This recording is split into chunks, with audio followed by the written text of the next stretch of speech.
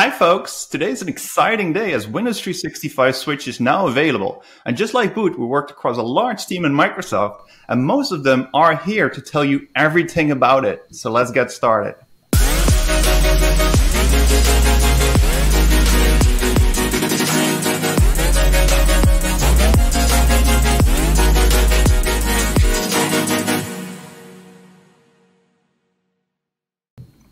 Hi folks, I'm super excited that this episode is all around Windows 365 Switch, which is now available. A new feature in Windows that allows you to switch to your cloud PC in just a snap.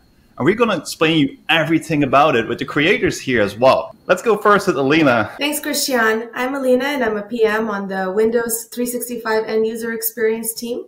And I work on all Windows integrated features such as Windows 365 Switch along with this awesome V team we have here today. So we're super excited to be here and talk about Windows 365 Switch. Thanks for having us. Thanks, Elina. And Arjun, can you introduce yourself real quick? Hello everyone, I'm Arjun and I'm a product manager in the Windows Shell team. And I'm responsible for building Switch to Cloud PC capability on the Windows platform alongside this awesome team that we have here. So yeah, I'm super excited to be here and really looking forward to its launch. Yeah, it's great to have you as well here. Paramita, can you go next? Hi everyone, I'm Paramita Chatterjee, a product manager on the Windows Shell team.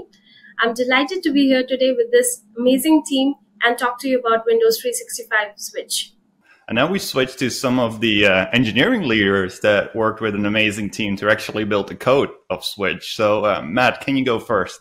Hey everyone, I'm Matt Fei. I'm the dev manager of Windows 365 app team. My team work on all the Windows 365 client app and other end user related features. Yeah, thanks, Matt. As you can see, Matt uh, operates in uh, in space with his NASA T-shirt, uh, creating innovation. So uh, great to have you here, Matt. Uh, Sid, can you go next? Everyone, I'm Siddharth, development manager in uh, Windows OS development team here at Microsoft. I lead uh, the Windows uh, 365 Cloud PC Switch engineering from uh, Windows OS shell side of things super excited to ship uh, this new experience and loved to be a part of this amazing team. Here, thanks, Sid, and thanks everyone for the great introductions. And now we can start to kind of really explain Windows 365 Switch and why we created Windows 365 Switch as well. And as some of you know, uh, Windows uh, Cloud Experiences, uh, Windows 365 as a product is now part of the Windows organization, reporting up to Panos Panay. And that is definitely saying something in terms of the future and other Windows integrations that are coming as well. Uh, Paramita, can you talk a little bit about the vision of like how Windows 365 and uh, Windows come together and why we created Windows 365 Switch as part of that? Yep, sure.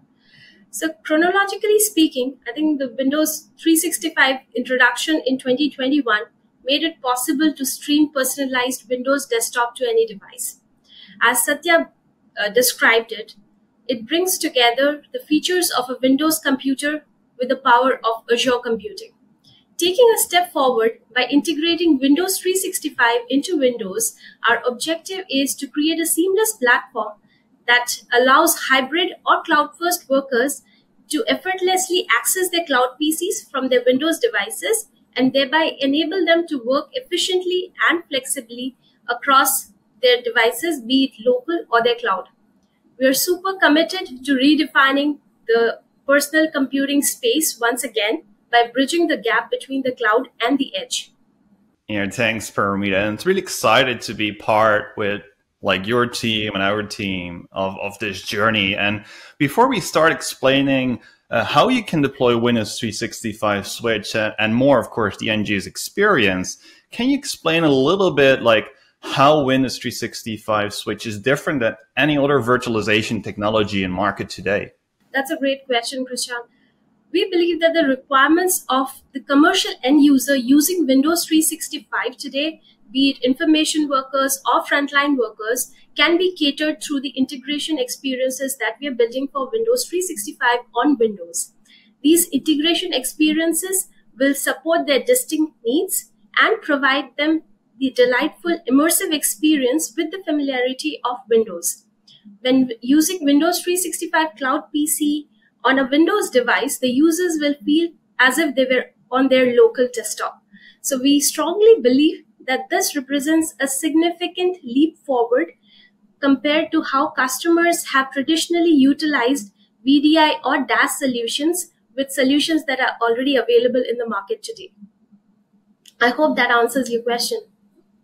Yeah, that's awesome. Thanks, thanks for sharing that. And it really paints the picture of that we are moving from compute to computing to Azure computing on the back with Windows in the front end for the user and move Windows to a cloud computing world with SaaS great experiences for both the end user as well as the IT admin. So great to yeah to hear that from you as well. And now we know why we created Windows 365 Switch. Arjun, can you tell us what Windows 365 Switch exactly is as a feature? Like what are the benefits, use cases, and such? Sure. With Switch, we are bringing Windows 11 and Windows 365 even closer by making it possible for users to seamlessly move between their local and cloud PC using the powerful Windows 11 task view on the taskbar. Users can now switch directly to their cloud PC with a single click from the task view just how easily they switch between their local desktops. We have made this experience of switching from local to cloud and then back super intuitive by giving a new and immersive round tripping experience which can also be done using gestures and shortcut keys.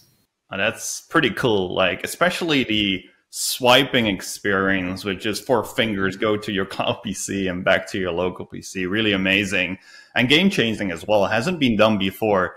And what are the main use cases you, you see uh, businesses, customers are benefiting off like as part of this, uh, this new feature? Sure.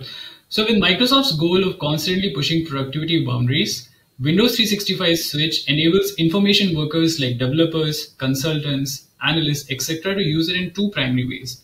The first one is the BYOD or the bring your own device scenario, where users can switch to their Windows 365 Cloud PC from their personal Windows 11 PC from their home or anywhere else. This would immensely help such users in segregating their work and personal life. The second case uh, here is around CYOD or the choose your own device scenario, where commercial customers can access their Windows 365 Cloud PC from their work PC. For example, if you're a consultant working in a company, you can switch to your client's Windows 365 Cloud PC from your company's PC. Here, we also see Switch being used in the offline scenario where users can work offline on their local PC and resume it by switching to the cloud PC once they have network connectivity. This is this is uh, possible, for example, during travel or long flights. So yeah, these are the two main use cases we see. I really like the bring your own device scenario you just pointed out there because we see that more companies doing more with less and reusing existing devices or contractors that have devices already and they provide them a corporate uh, secure cloud PC. And then with the switch experience, we make it possible to easily switch between the local uh, local PC and the cloud PC with like the four finger gesture or sh short keys, or just via the task view integration. So that's awesome. So Sid, can you tell the viewers uh, what is supported with Windows 365 Switch uh, as part of this preview right now? Like, what are the hardware requirements and software requirements? Is Windows 11 Pro and Enterprise supported, for example? Most of the hardware types, uh, your x86 FRE, AMD 64 FRE is supported. Uh, this feature would be rolling out for uh, Windows 11 Pro and Enterprise. And uh, we would have even the support for ARM as well. So uh, the mobile devices would also be like tablets would also be getting this uh, exciting new feature. Yeah, that's great. We we definitely see like ARM devices being more than uh, used more than ever before due to, of course, battery life benefits and all things uh, related to that. So great to hear that ARM is supported too. Are Teams optimizations like audio and video redirection and multimedia redirection supported as well? Absolutely. So all the features that W365 currently supports, that's a native integration on Windows, and you would get that with Switch as well. Great to hear all those great innovation and things are happening on the back as well. Supportability for ARM. Um, you as Windows Shell lead, as part of the team, can you give people, the audience here, a little bit of an inside scoop or behind the scenes, um, yeah, overview of what we do to make switching easier and what's happening on the background there as well? In the upcoming new W365 uh, Switch native integrations on Windows 11 OS, we'd get to see an amazing uh, immersive experience of the W365 capabilities. It lights up the Cloud PC session right in the task view switcher UX. Uh, and we are making the task TaskView as the new home of the cloud PCs with the new capability. It's a pretty exciting experience on Windows, truly immersive, and we'd be able to see cloud PCs as you are seeing the local virtual desktop windows today. Just you are a click away on the cloud PC button and your brand new experience with interstitial screens apprising you of a new connection journey. During the connection, you will still continue to multitask if you choose to. You just go back and wait for the connection to happen and we'll, we'll let you know. Today, we also are rolling out the new gesture and the swipe experience as well. And you are just going to choose the local desktop while on the cloud PC just to come back. So that's how immersive we are going to make this switch experience for you. Thanks, Sid. And I think the audience waited now to uh, really see it in action. And Matt, can you explain what the requirements are before users can install the Windows 365 app and take it from there? Sure. So the configuration is very simple, just three steps. First step, go to your cloud PC and upgrade your OS on cloud PC. Step two, go to your local device and then update your local device OS. Step three, install the Windows 365 app. That's all you need to do. Uh, the OS will be released later. Uh, the Windows update will be released later, but today you can enroll Windows Insider program to experience this new switch feature. In the following demo, I will show you how to enroll the Insider program and then update your OS. Let's take a look at the demo. So on your OS, open the setting menu and then select the Windows uh, update. Open the Windows Insider program and then click the button, uh, Get Started button. Uh, first, you need to link a Microsoft account, either MSA account or Work School account, to the Insider program. After that, you can just continue the wizard. Here, uh, one thing you need to pay attention to is uh, to choose the beta channel. And then just click the restart now. Uh, you will get your Windows.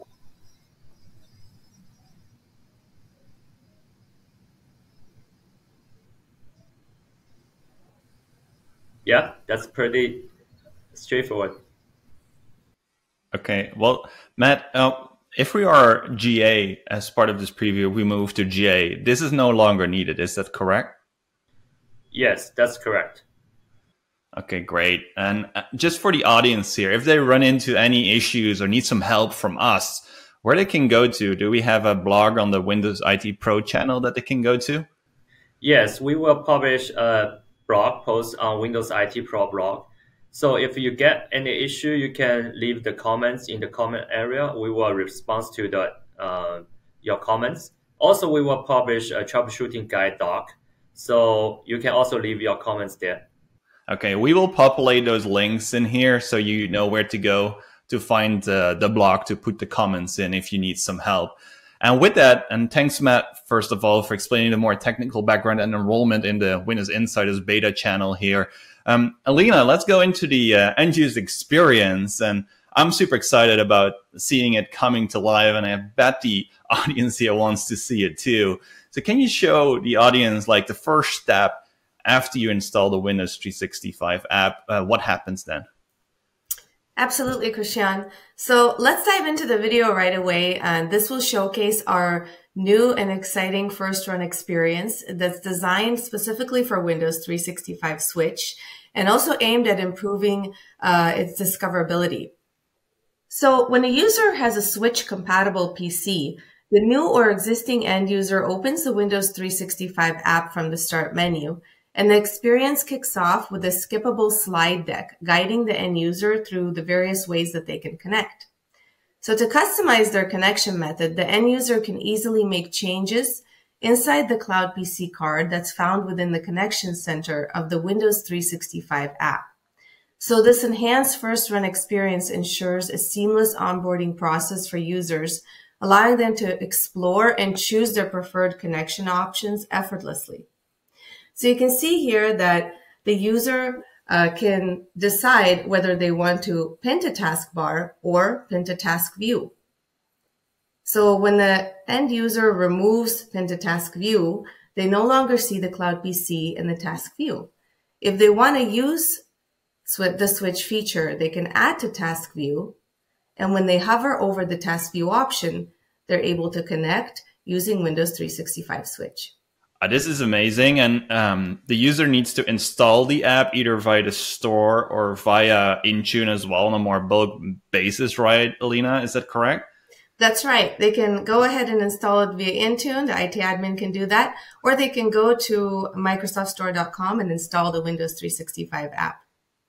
Okay, awesome. And now we are at the point that we can show the actual switching experience with this demo you prepared here.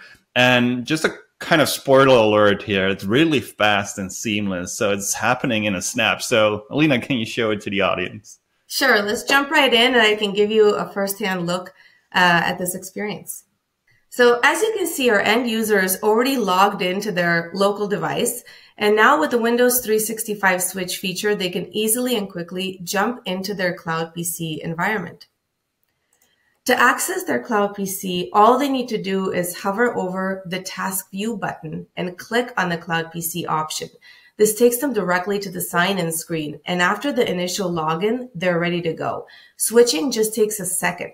Now we're continuously working to optimize this first login experience, aiming to reduce that time it takes to access the cloud PC. So once they're in that cloud PC, if they wish to return to their local device, it's as simple as just one click. The back and forth movement between local and cloud PC is effortless and seamless. And you can even use the four finger swipe on your trackpad and screen to quickly move between your local desktops and your cloud PC. Well, that's great. And I also know about a hidden short key called uh, Control uh, Windows and then uh, arrow right and left that makes this possible too. And once the connection is established, it's just like a direct swipe, right? Is that correct? Like instant, so that connection phase that you saw is no longer existing then. Is that correct? That's right. It just takes one second to switch back and forth.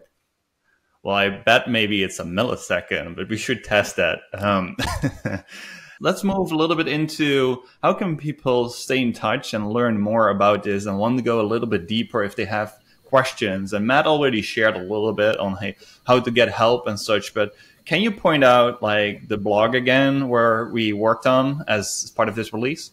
Sure. We, we, we are releasing a new blog post on the Windows IT Pro channel created by this team, and you can find it on aka.ms slash Windows 365 Switch Public Preview, linked below in this description. Wrapping up here, Elina, how can people stay in touch with you? Like if they want to connect with you and ask some questions or provide feedback as well? Sure. Feel free to reach out to me on LinkedIn at Elina Luthra. And what about you, Arjun? You can reach out to me on LinkedIn at Arjun Rohilla. And Matt? Yeah, you can also reach me uh, reach out me to um, LinkedIn Matt Fei. And Sid, what about you? Hey, reach out to me on LinkedIn with Siddharth Srivastav. And last but not least, Paramita, how can people stay in touch with you? Yeah, I'm on LinkedIn, and you can find me as Paramita Chatterjee. Thanks. And, and with that, I really would like to thank this group for spending the time today to dive deep into Switch and some background information on, hey, what are the benefits of the solution and how do you get access and get help as well directly from the creators. So really thank you and hope to see you at the next episode as well while we are working on some other cool stuff in the back that we cannot talk about today. And of course, thank you, the audience, for watching, whether you're new or reoccurring a visitor here. If you're interested in more episodes, go to aka.ms slash Windows in the Cloud to stay up to date about all the latest around Windows in the Cloud and Windows 365. So we hope to see you next time. Bye.